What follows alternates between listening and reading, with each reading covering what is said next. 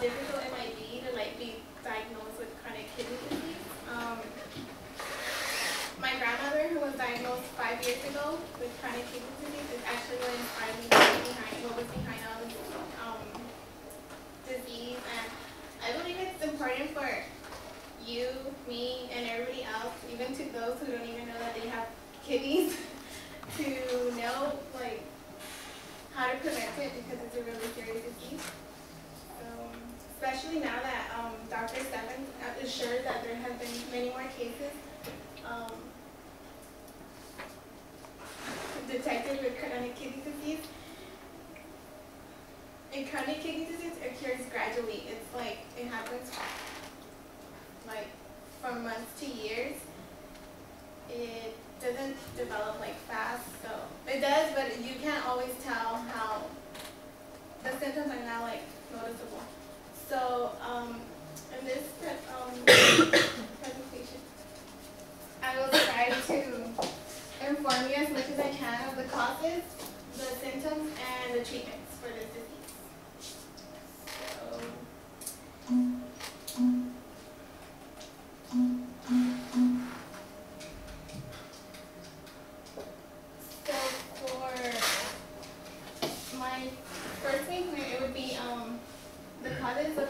Would be the one that chronic kidney disease the most.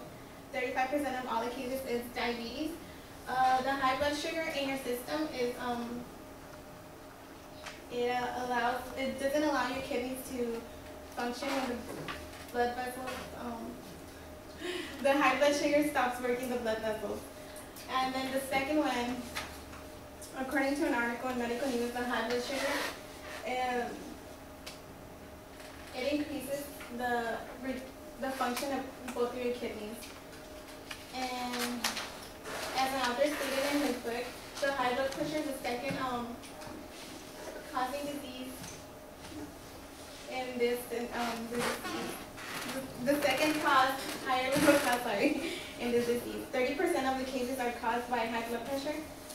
Um, if the blood pressure damages your blood vessels as well, so if they stop working, the higher it is, the the more it, it gets affected.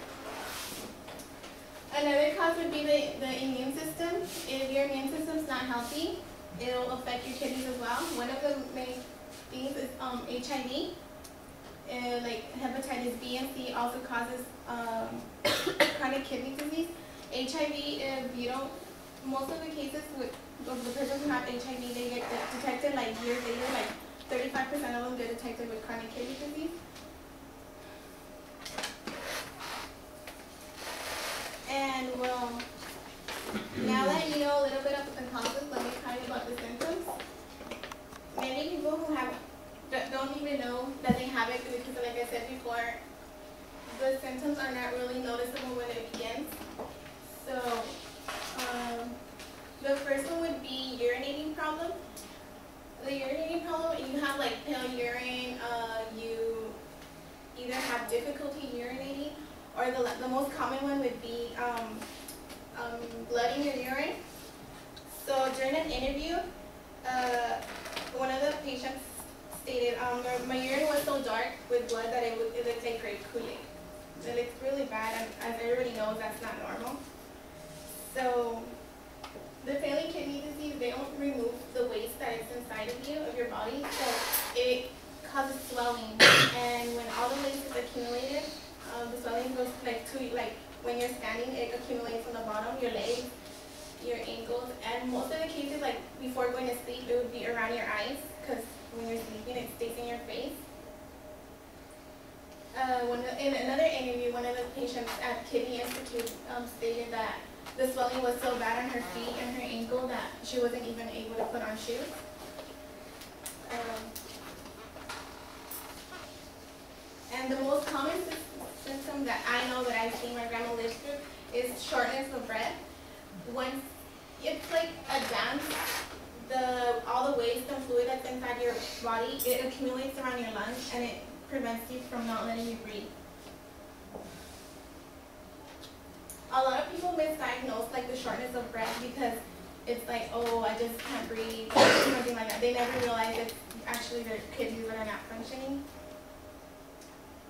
And secondly, the also another cause is um, chronic kidney disease causes anemia, so that is um, lack of oxygen. So that would be another thing that we have to relate with um, shortness of breath. And well, the last. Uh, uh, for the well, now that you know about the symptoms, I'm going to tell you about the treatment.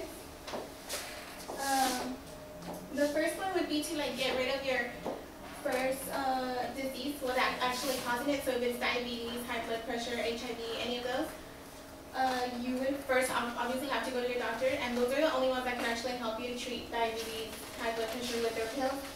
And after that, it would be the next um, treatment would be dialysis once your uh, disease is already advanced. But first, you would have to know at what stage of uh, disease, at what stage of the disease you are. There's five stages. The first one, it's just like you're tired. It does, you can't really tell the, the symptoms. And you have headaches and stuff like that. The second one is the same as well.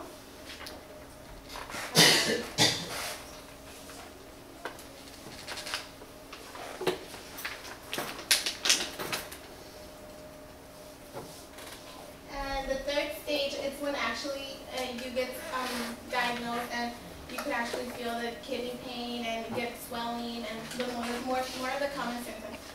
So at the third stage, most of the doctors require that you actually get dialysis done if it's necessary. And when it's to the fourth and fifth stage as well, at the fifth stage it's called um, end renal disease. When it's way advanced, your kidneys are working 15% or less. They're not functioning, they're not letting out fluid. So you definitely need dialysis and or uh, transplant, which is when you need a transplant, obviously you have to be compatible with the other person. It's really difficult. It's only like 2% of the people that get transplant um, actually function with their the other kidney that they get. So the last treatment that every stage requires is a diet. When you're, when you're a chronic kidney disease patient, your diets are really strict. You um, you can't eat much salt, like sodium, potassium. Everything has a limit. Fat, calories, uh, especially the salt, because it's what really stops, um, doesn't allow the fluids to. It, helps more fluids when you actually drink. You can't drink much water. Uh, like for my grandmother, she's a patient. She only has a little bit amount of water she could drink with pills and stuff like that. So. And for dialysis, there's two. There's two. There's hemodialysis and perineal, perineal dialysis, sorry, I can't say.